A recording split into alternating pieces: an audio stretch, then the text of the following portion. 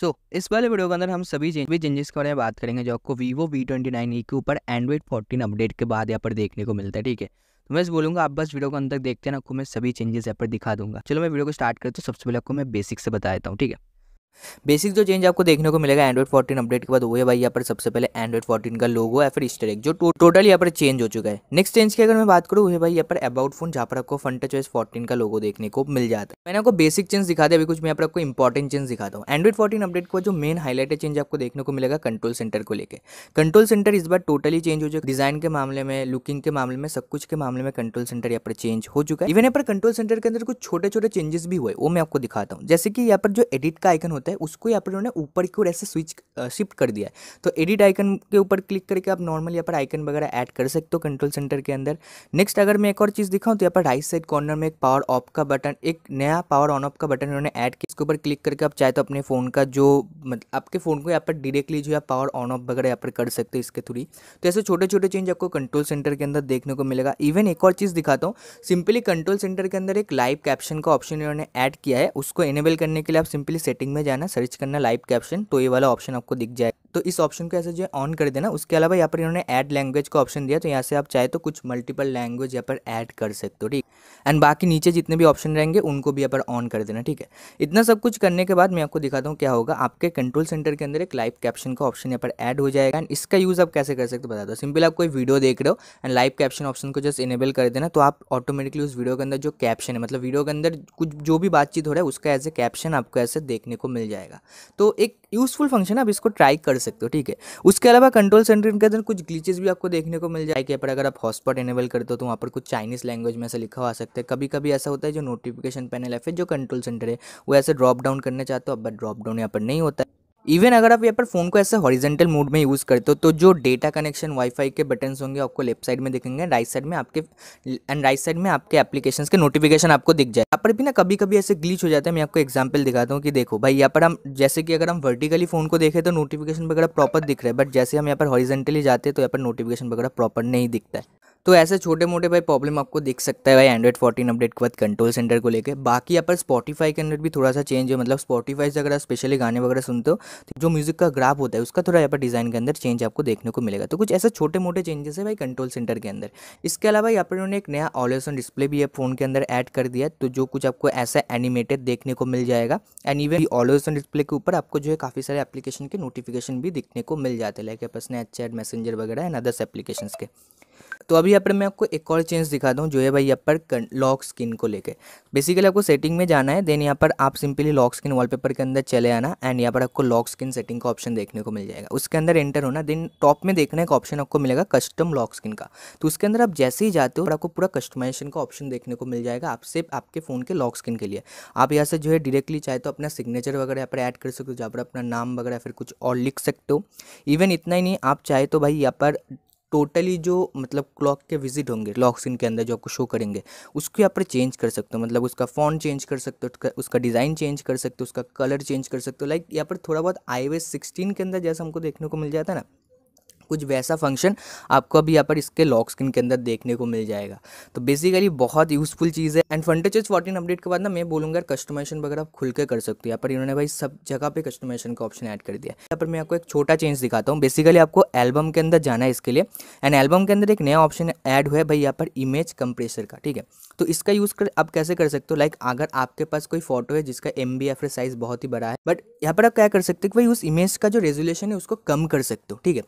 Resolution को कम कर देना बट इमेज तो उससे क्या होगा कि भाई इमेज का जो साइज़ होगा, वो कम हो जाएगा बट क्वालिटी यहाँ पर सेम रहेगा। तो एक छोटा सा फ़ंक्शन है ऐड हुआ है एल्बम के अंदर, इसलिए आपको दिखा दिया मैंने यहाँ पर। बहुत यूज़फुल फ़ंक्शन है ट्राई कर सकते हो कुछ कुछ टाइम में काम आ जाता है। एनीवेज अभी मेन एक और बिग चेंज दिखाता हूँ, जो है भाई यहाँ पर slide share F small window small window को लेके। इस बार स्मॉल विंडो के अंदर आप काफ़ी सारे थर्ड पार्टी एप्लीकेशन को ऐड कर सकते हो, ठीक है? एंड उसका आप यहाँ पर यूज़ कर सकते हो। बट इतना ही नहीं, अभी मैं एक सिंपल सा चेंज दिखाता हूँ स्मॉल विंडो रिलेटेड आपको सिंपली सेटिंग में जाना है सर्च करना है स्मार्ट साइड बार तो इस टाइप का पेज आ जाएगा। तो यहाँ पर जितने भी ऑप्शन रहेंगे, इसको जस्ट आप यहाँ से ना इनेबल कर देना। जैसे कि यहाँ पर जो शो रिसेंट एप्स का ऑप्शन है सीन्स फंक्शनलिटी इन सभी ऑप्शन को ऐसे बस आपको ऑन कर देना है। इतना करने के बाद मैं आपको दिखाता हूँ ये ऑप्शन कैसे काम करेगा। बेसिकली मैंने यहाँ पर बैकग्राउंड में यूट्यूब यहाँ पर प्ले किया ठीक है? बिग स्क्रीन में यूट्यूब चल रहा है। अभी उसके साथ साथ मेरे को यहाँ पर भाई कैलकुलेटर ओपन सिंपली मैं स्मॉल विंडो ओपन करके, ऐसा साइड से स्मॉल विंडो को ओपन करके कैलकुलेटर के ऊपर क्लिक करूँगा तो कैलकुलेटर एप्लीकेशन ओपन होगा। एंड तुरंत मेरे को सपोज़ टेलीग्राम ओपन करना तो सिंपली मैं स्लाइड शेयर ओपन करके टेलीग्राम के ऊपर क्लिक करूँगा तो टेलीग्राम एप्लीकेशन ओपन हो जाएगा। एंड जो कैलकुलेटर का आइकन होगा, ऐसे साइड कॉर्नर में आ जाएगा, जिससे इसको मैं दोबारा ओपन कर सकता हूँ। सेम चीज़ और भी एप्लीकेशन के साथ कर सकते हो लाइक यहाँ पर एग्ज़ाम्पल के लिए मेरे को फेसबुक ओपन करो तो मैं फेसबुक के ऊपर क्लिक करूँगा फेसबुक ओपन हो जाएगा। एंड जो टेलीग्राम का एप्लीकेशन है, जो थोड़ी देर पहले मैंने ओपन किया था, वो ऐसे साइड में आ जाएगा, जिससे इसको मैं फिर से स्मॉल विंडो में ओपन कर सकता हूँ। तो ऐसे ऐसे चेंजेस आपको यहाँ पर देखने को मिल जाते हैं भाई स्मॉल विंडो को लेके।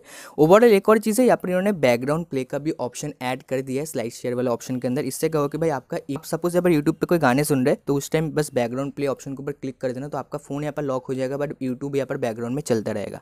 तो ये ऑप्शन इन्होंने अभी यहाँ पर नया ऐड कर दिया यहाँ पर। यहाँ पर स्लाइड शेयर के अंदर एक और इंपॉर्टेंट चेंज आपको दिखाता हूँ। अगर आपको जो है कोई भी फ़ोटो वगैरह ऐसे मैसेज वाले एप्लीकेशन के अंदर ड्रैग एंड ड्रॉप करना मतलब तो ये चीज़ यहाँ पर पहले भी था बट यहाँ पर थोड़ा ऑप्टिमाइजेशन हुआ लाइक स्मॉल विंडो में अपने जो है कोई मैसेज वाले एप्लीकेशन ओपन किया बैकग्राउंड में एल्बम ओपन किया। तो आप ना चाहे तो भाई यहाँ पर स्मॉल विंडो के अंदर एप्लीकेशन को ड्रैग एंड ड्रॉप भी यहाँ पर कर सकते हो। मतलब कुछ फ़ोटोज़ वगैरह सेंड करना है मैसेज एप्लीकेशन के थ्रू या फिर कुछ और सेंड करना है मैसेज एप्लीकेशन के थ्रू तो उसको ऐसे ड्रैग एंड ड्रॉप भी यहाँ पर कर सकते हो। तो ऐसे ऐसे चेंजेस आपको यहाँ पर देखने को मिल जाते हैं सिर्फ़ एक स्मॉल विंडो के अंदर। एंड जो मैंने बोला, जो स्मार्ट साइड बार का ऑप्शन है, उसको ज़रूर एनेबल कर देना सेटिंग में जाके। बहुत यूजफुल फ़ंक्शन है। अभी मैं यहाँ पर आपको कुछ और छोटे छोटे चेंजेस दिखाता हूँ बैटरी को लेकर। सबसे पहले तो जो रैम यूजेस का ऑप्शन है, उसका डिज़ाइन इन्होंने यहाँ पर चेंज किया है। नेक्स्ट चेंज आपको देखने को मिलेगा भाई यहाँ पर बैटरी कैपेसिटी को लेकर तो अभी आप चाहे तो अपने फ़ोन का जो बैटरी का हेल्थ है, वो यहाँ पर चेक कर सकते हो। इवन नेक्स्ट चेंज देखने को मिलेगा भाई बैटरी यूजेस को लेकर उसका जो ग्राफ है, वो थोड़ा सा चेंज हुआ यहाँ पर। जैसे कि देख सकते हो डिज़ाइन डिज़ाइन के मामले में इस बार थोड़ा अलग सा ही काम हुआ है भाई फंड फोर्टीन के अंदर। नेक्स्ट यहाँ पर एक और चीज़ है, अगर आप चाहे तो अपने फ़ोन का जो बैटरी का आइकन है, उसको चेंज कर सकते हो लाइक उसको सर्कुलर रखना है हॉरिजेंटल वर्टिकल कैसा रखना है, उसको आप यहाँ पर चेंज कर सकते हो। पूरा आपके ऊपर है, पूरा कस्टमाइजेशन वगैरह, ठीक है? ओवर बैटरी को लेकर काफ़ी सारे अब इस बार चेंज हुए भाई आपको यूज़ करके मज़ा आएगा। नेक्स्ट चेंज की बात करें तो जो आपको देखने को मिलेगा भाई यहाँ पर वॉल्यूम एडजस्टमेंट एप्लीकेशंस को लेकर आप सिंपली सेटिंग में जाना है, वहाँ पर आपको एक ऑप्शन देखने को मिल जाएगा वॉल्यूम एडजस्टमेंट ऐप करके आप सर्च कर लेना। तो इस ऑप्शन को जैसे जैसे इनेबल कर देना। तब ये ऑप्शन कैसे काम करते दिखाता हूँ। सपोज़ मैंने यहाँ पर यूट्यूब ओपन किया यूट्यूब पर कोई गाना सुन रहा हूँ तो यहाँ पर मेरे को ना अलग से एक वॉल्यूम का एक अलग से वॉल्यूम बार क्रिएट कर देगा, जो सिर्फ़ यूट्यूब के लिए होगा। सेम चीज़ सिर्फ़ यूट्यूब के अंदर नहीं, अगर आप कोई थर्ड पार्टी म्यूज़िक एप्लीकेशन के ऊपर गाना सुन रहे तो सेम काम वो वहाँ पर भी कर देगा। लाइक एक उस म्यूज़िक एप्लीकेशन के लिए एक वॉल्यूम का बार क्रिएट कर देगा, जिससे आप सिर्फ़ उसी म्यूज़िक प्लेयर का वॉल्यूम यहाँ पर कंट्रोल कर पाओ। तो एक और छोटा सा चेंज है, इसको भी ट्राई करना, आपको यूज़ करके मज़ा आएगा। बाकी अपन ना, कि अपन इन्होंने थीम एप्लीकेशन के अंदर आप देखना लाइव वॉलपेपर सेक्शन के अंदर, फिर काइनेटिक वॉलपेपर वाले सेक्शन के अंदर काफ़ी सारे अभी काइनेटिक वॉलपेपर्स वगैरह लाइव वॉलपेपर्स वगैरह ऐड किए। पहले भी था, बस अभी इनके अंदर थोड़ा इन्होंने ऑप्टिमाइजेशन किया, ठीक है? एंड कुछ कुछ काइनेटिक वॉलपेपर सबको पर्सनल डाउनलोड भी करना, अगर आपको यूज़ करना है तो। एनीवेज मैं आपको दिखाता हूँ सपोज़ मैं तो मैं आपको कैसा ऑप्टिमाइजेशन हुआ, यहाँ पर मैं दिखाता हूँ। सपोज़ मैंने अभी यहाँ पर एग्ज़ाम्पल के लिए कोई भी एक लाइव वॉलपेपर मेरे फ़ोन के ऊपर ऐड किया, अभी मैं जाऊँगा यू कलर वाले सेक्शन सेक्शन के अंदर। बट ई कलर वाला जो ऑप्शन है, हट चुका है, अभी उसका नाम चेंज होकर हो चुका है कलर एंड स्टाइल ठीक है? तो अभी मैं यहाँ पर कलर एंड स्टाइल वाले ऑप्शन के अंदर जैसे एंटर होता हूँ तो यहाँ पर मेरे को यूआई कलर का फ़ंक्शन देखने को अभी जैसे यहाँ पर मैं जाता हूँ तो सिंपली अभी मैं क्या करूँगा अप्लाई टू आइकन्स ऑप्शन को यहाँ पर एनेबल कर दूँगा एंड वॉलपेपर्स कलर्स को ऐसे मैं जस्ट यहाँ पर चूज़ कर दूँगा। तो इतना करने के बाद अभी ऑप्टिमाइजेशन देखना। पहले लाइव वॉलपेपर के अंदर क्या होता था कि जो भाई यूआई कलर का ऑप्शन था, अच्छे से काम नहीं करता था बट अब भी भाई एंड्रॉइड फोर्टीन अपडेट के बाद बहुत बढ़िया काम कर रहा है। तो मेरा रिकमेंडेशन रहेगा, अगर आपको एंड्रॉइड फोर्टीन का अपडेट मिल चुका है तो कलर एंड स्टाइल वाले ऑप्शन के अंदर जाके यूआई कलर ऑप्शन को ज़रूर ट्राई करना। बाकी कुछ कुछ बेसिक क्वेश्चन थे आपके, मैं आपको बता देता हूँ कि भाई जो डायलर है वो चेंज हुआ है कि नहीं? नहीं भाई, कोई डायलर वगैरह चेंज नहीं है। आपको ओल्ड डायलर ही यहाँ पर देखने को मिल जाता है। कोई गूगल डायलर वगैरह इन्होंने यहाँ पर ऐड नहीं किया है। एंड्रॉइड फोर्टीन अपडेट के बाद इवन यहाँ पर गेमिंग मूड के अंदर भी कोई चेंज आपको देखने को नहीं मिलता है, ठीक है? वहाँ पर भी कोई चेंज नहीं है। तो चलो ओवरऑल ये जितने भी चेंजेस थे Vivo V twenty nine E के ऊपर एंड्रॉइड फोर्टीन अपडेट के बाद मैंने आपको दिखा दिया और कुछ फ़िलहाल वीडियो के अंदर कहने का नहीं है। वीडियो ही पर हम खत्म कर देते हैं। एंड बाकी जब मैं अपडेट लॉग वाला वीडियो बनाऊँगा वहाँ पर मैं और डिटेल में सारे प्रॉब्लम्स वगैरह आपको बता दूँगा, जो वीवो वी ट्वेंटी नाइन के ऊपर आपके ऊपर देखने को मिल रहे तो चले और कुछ वीडियो कहने का नहीं, वीडियो खत्म करते पसंद तो लाइक शेयर चैनल पर नेक्स्ट करके तो मिलता हूँ नेक्स्ट